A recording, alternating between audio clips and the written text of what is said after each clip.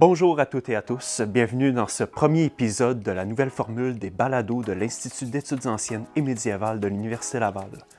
Aujourd'hui, nous recevons M. Pierre-Luc Bérisson et M. Alec Desbiens.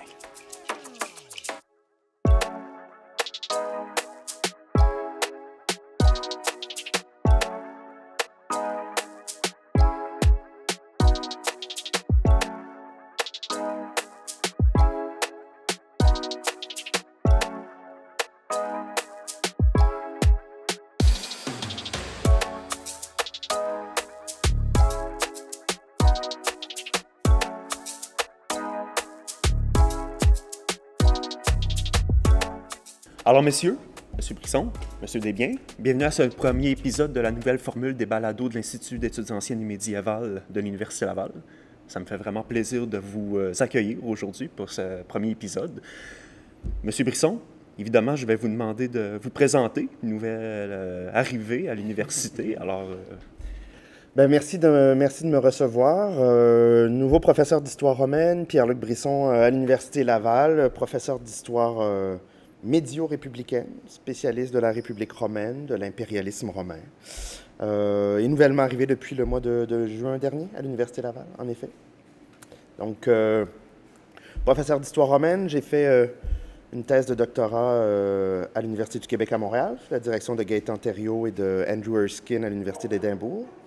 Puis ensuite, euh, trois années d'études postdoctorales à l'Université McGill et me voici maintenant à l'Université Laval. quand même un bon parcours. On va avoir évidemment la chance d'en rediscuter au courant de cet épisode. M. Desbiens, Oui, donc euh, Alec Desbiens, hein, étudiant, je commence ma troisième euh, année à la maîtrise à l'Université Laval. Mes recherches portent sur le déclin du royaume séleucide au deuxième et premier siècle avant Jésus-Christ. Et hum, avant ça, j'ai fait mon baccalauréat en histoire ici même à l'Université Laval. Vous êtes sous la supervision de qui actuellement? Patrick Baker. M. Baker, excellent, super. Euh, alors, euh, on en a discuté euh, euh, vaguement déjà de, de- de votre euh, parcours académique.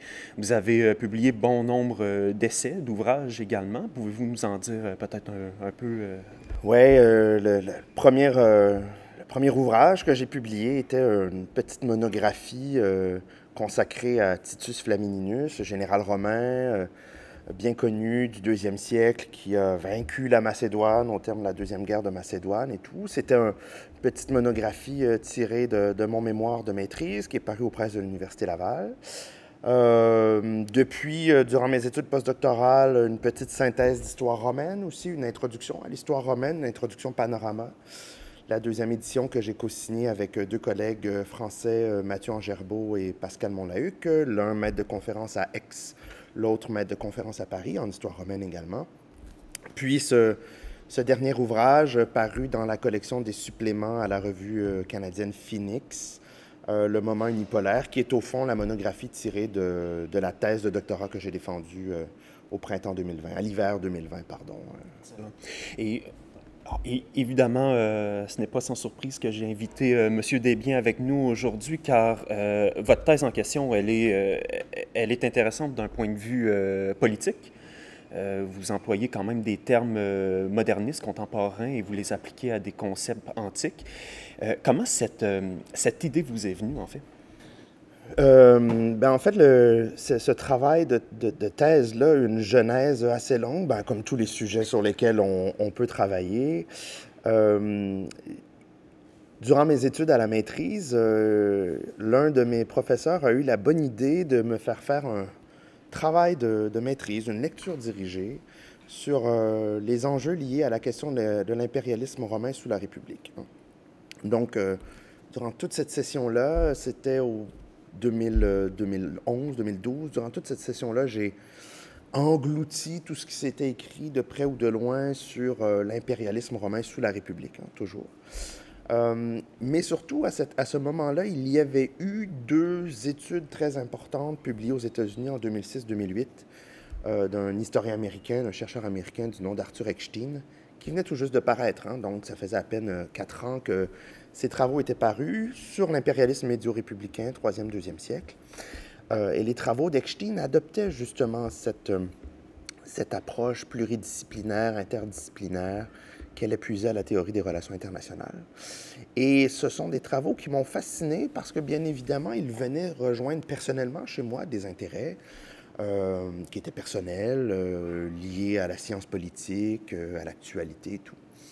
Et je dois avouer que ces travaux-là d'Eckstein m'ont toujours interpellé, m'ont toujours intéressé. Ils sont restés dans un coin de mon esprit très longtemps. J'ai fait ma thèse, mon, ma maîtrise sur sur Flamininus euh, en 2015-2016. Euh, et lorsque je me suis intéressé ou lorsque je me suis attablé à trouver, à circonscrire un sujet de thèse pour le doctorat, je voulais revenir à cette période du deuxième siècle avant notre ère que j'avais étudiée pour la maîtrise, parce qu'à bien des égards, c'est une période qui est assez charnière hein, pour l'histoire de la Méditerranée ancienne. C'est le moment où Rome intègre de plein pied euh, le monde hellénistique, le monde grec. Euh, mais c'est aussi une période, euh, je dirais, de transition parce que c'est à la fois la période, oui, où l'impérialisme romain se met en branle vis-à-vis le monde grec, mais c'est un impérialisme qui n'est pas encore pleinement assumé. Hein. Ça prend presque un demi-siècle avant que les, les Romains ne provincialisent une partie du monde grec au tournant des années 140.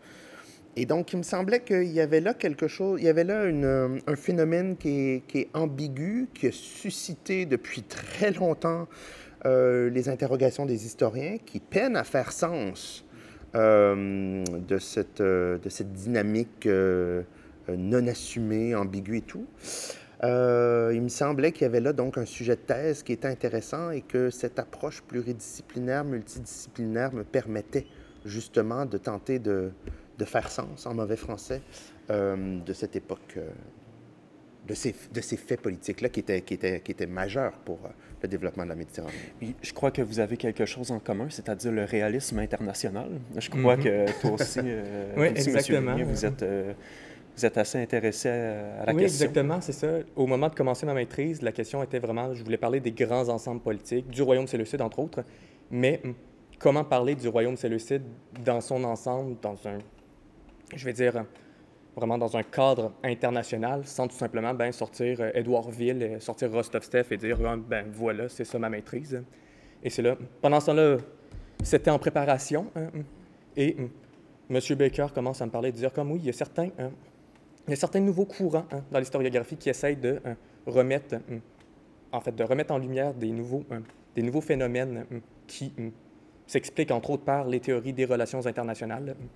Je ne connaissais pas Eckstein à cette époque-là, mais c'est un des premiers que j'ai lu, évidemment, hein, puisqu'il était un des précurseurs de cette méthode-là. Hein.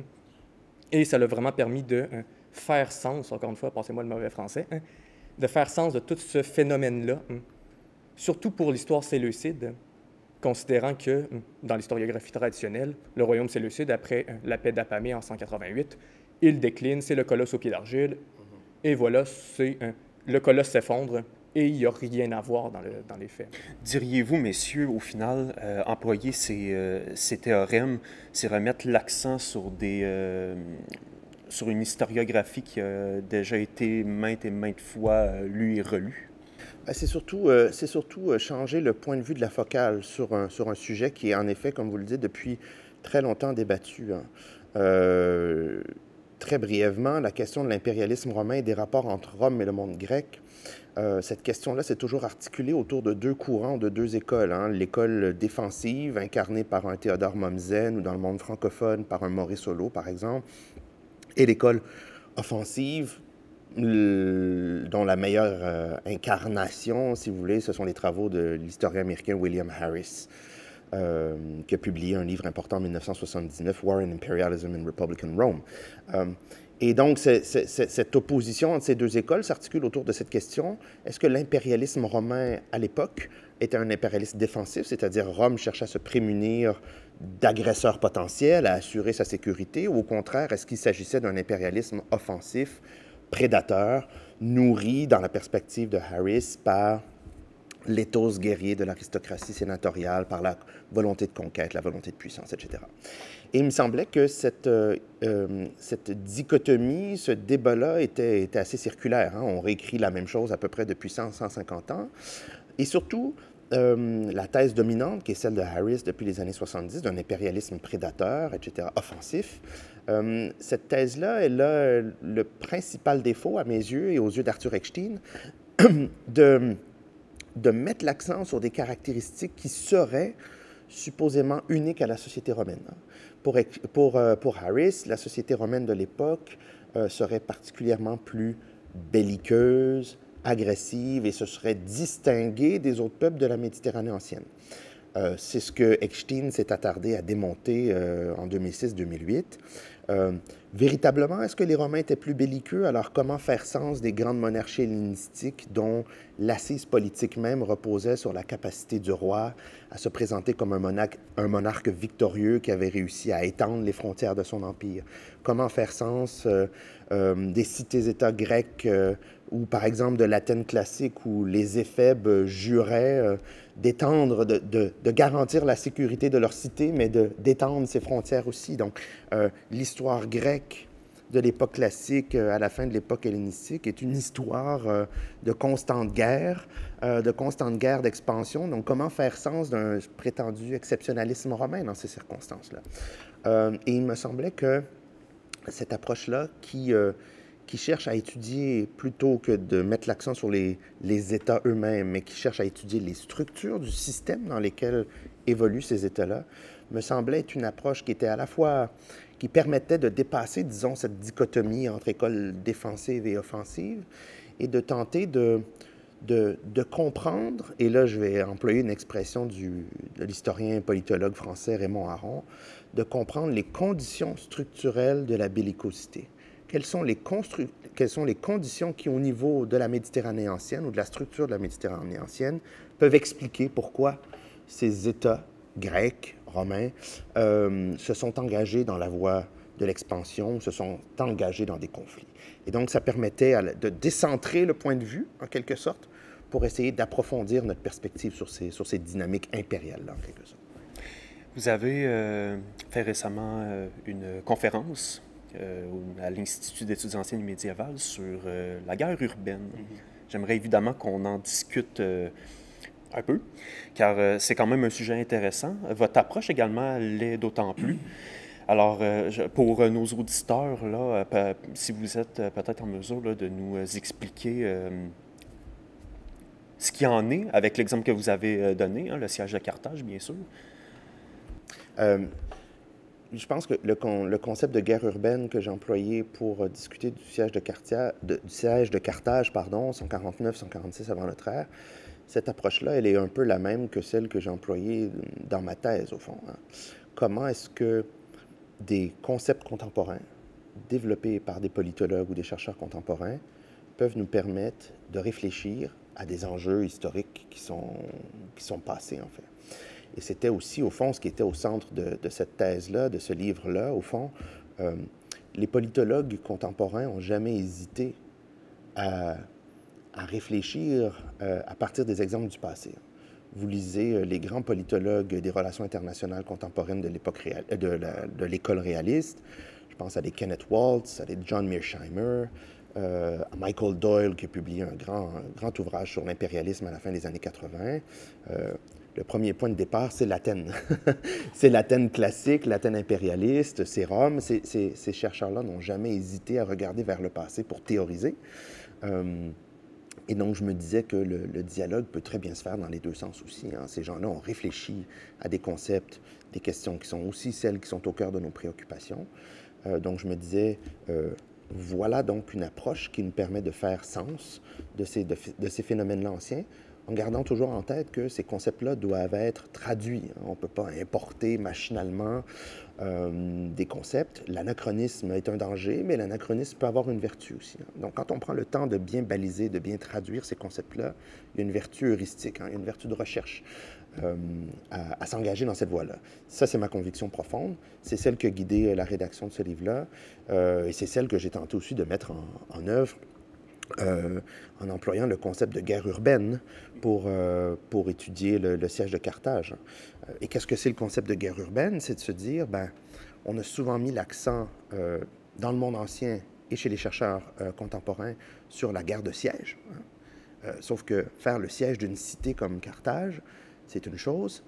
La prendre, prendre quartier par quartier, la pacifier, c'en est un autre. Hein. C'est deux temps différents de la bataille.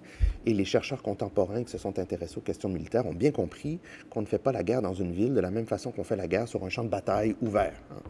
Euh, malheureusement, l'exemple de Gaza euh, présentement, du regain de, de tension euh, au Proche-Orient, nous prouve bien que faire la guerre dans une enclave peuplée de 2 millions d'habitants, avec une concentration urbaine de 5000 personnes au kilomètre carré, comme c'est le cas de la bande de Gaza, pas la même chose que de faire campagne, euh, que de faire bataille, de, mener bataille en, race campagne. Hein.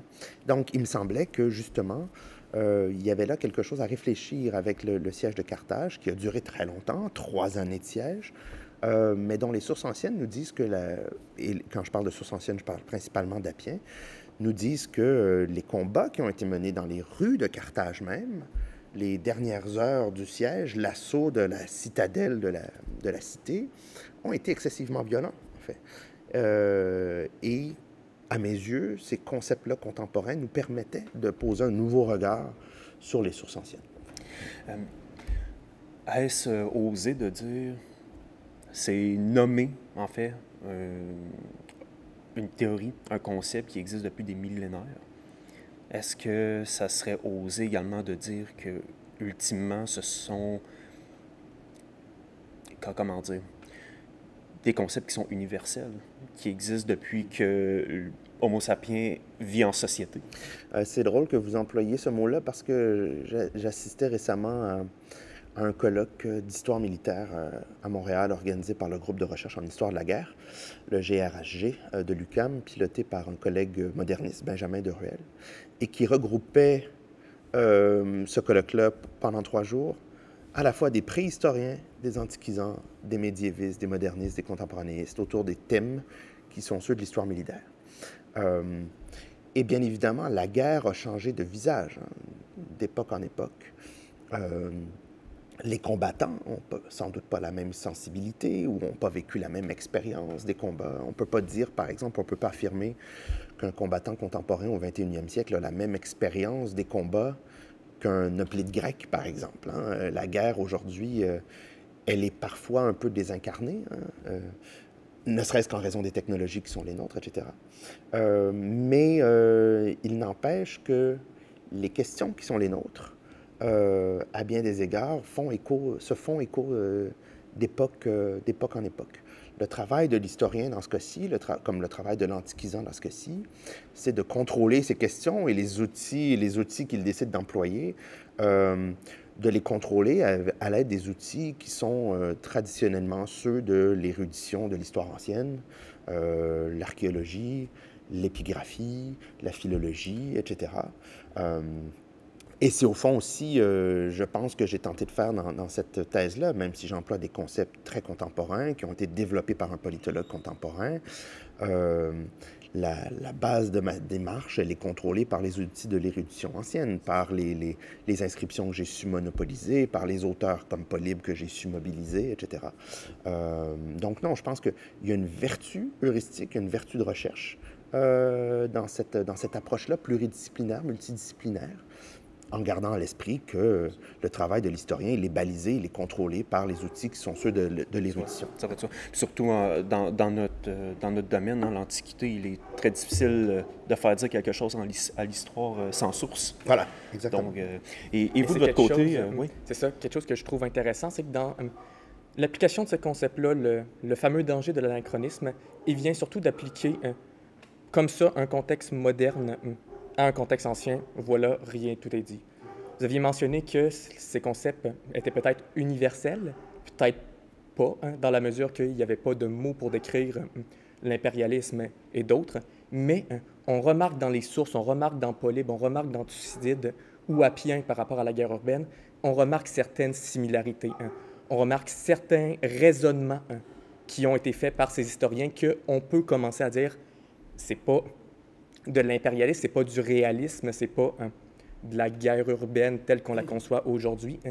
mais on est capable d'aller faire des liens avec ce qu'on connaît aujourd'hui, et c'est là que ça devient intéressant. Hein. C'est là que cette méthode permet d'aller, en étant conscient que, oui, c'est un regard de moderne avec des concepts modernes, mais ça nous permet d'aller chercher quelque chose dans ces sources que Sinon, on n'aurait tout simplement jamais allé, aller chercher. La, la, question, elle est bonne parce qu'il faut faire attention aussi parce que euh, les politologues contemporains qu'on utilise, euh, particulièrement ceux de l'école réaliste, ont toujours voulu voir dans des historiens grecs comme Thucydide et Polybe euh, leur lointain père fondateur. Hein. Il y a un enjeu idéologique avec l'écriture des théories, des théories des relations internationales qui est assez manifeste. Euh, et évidemment, Thucydide est un historien. Thucydide, c'était pas un, un politologue, euh, c'était pas un théoricien. De... C'est un militaire. C'est un militaire à la base, euh, tout comme Polybe d'ailleurs, euh, qui est peut-être le plus thucydidéen des historiens grecs qui, ont, qui ont, qui ont écrit après, après Thucydide. Mais il n'empêche qu'un historien comme Polybe, hein, qui est notre principale source sur l'impérialisme au deuxième siècle avant notre ère, un historien comme Polybe a eu des intuitions, disons, qui sont, qui sont, je dirais, presque contemporaines. Hein. Lorsque, euh, Polybe décide euh, d'étudier ce phénomène particulier qu'il juge particulier à son époque, celui euh, d'expliquer, je le, je le paraphrase, comment Rome est devenu maître, maître du monde en 53 ans, le monde étant le monde méditerranéen, évidemment, à son époque. il décide de s'engager dans cette histoire, dans cette aventure historique-là, mais à partir d'une analyse systémique. Hein. Ce, qui, ce qui intéresse Polybe, c'est d'expliquer un phénomène qu'il appelle la symploquée, c'est-à-dire comment est-ce que les différentes parties du monde grec, du monde méditerranéen, se sont, réunies dans ce processus-là, euh, dans ce processus politique-là, qui a été, euh, au fond, animé, alimenté par l'expansion romaine. Hein. Il, a, une vision systémique euh, du phénomène et il, il, euh, il va même plus loin à un certain moment. Il nous explique, à ses yeux, qu'il est impossible de faire une histoire, de, une histoire universelle de son temps euh, sans adopter cette approche, euh, cette approche systémique. Et il emploie une analogie médicale. Il dit euh, il est absolument impossible de comprendre un phénomène politique ou militaire comme celui de l'expansion romaine sans faire, en faisant l'économie d'une approche systémique, tout comme il est impossible pour un médecin de soigner un patient sans comprendre l'interrelation des, des membres entre eux euh, dans un corps. Hein. On ne peut pas isoler le, membre d'un corps humain euh, sans avoir une, approche globale de, la santé, en quelque sorte, ou de la façon dont le corps fonctionne, tout comme il est impossible euh, d'isoler la politique de Rome sans la replacer dans son contexte global. Hein. Je le paraphrase, mais il, il emploie une analogie médicale qui, à mon sens, veut tout dire. Polybe a eu cette intuition-là systémique Hein, il n'a pas hésité à le faire. Et en effet, il est impossible de comprendre la politique romaine sans comprendre à la fois que les, armées de la République romaine étaient engagées sur, sur les fronts euh, d'Afrique du Nord, du nord de la Gaule, euh, du nord de l'Italie, pardon, qui était la Gaule euh, cisalpine, la péninsule ibérique. Il est impossible de, comprendre la politique romaine envers le monde grec sans comprendre aussi les préoccupations sécuritaires qui étaient celles de Rome, qui étaient engagées sur tous les fronts dans, dans, la Méditerranée à cette époque-là, en fait. Donc, cette, cette apparente, euh, cet anachronisme apparent, disons, euh, il a malgré tout des racines très anciennes. Et c'est Polybe lui-même. Hein. Faire l'histoire de l'impérialisme romain, c'est une, une aventure polybienne. et à bien des égards, je pense, Polybe nous a tracé la marche à suivre. Euh, et euh, il n'est pas aujourd'hui, donc, dans cette perspective-là, inconséquent euh, d'employer des outils que peut-être, et j'exagère peut-être, mais que Polybe n'aurait peut-être pas rechigné à employer lui-même, en fait. Hey, messieurs, un immense merci de vous être prêtés à cet exercice. Ça fut un vrai plaisir. C'est mon plaisir, c'est mon plaisir. Merci beaucoup.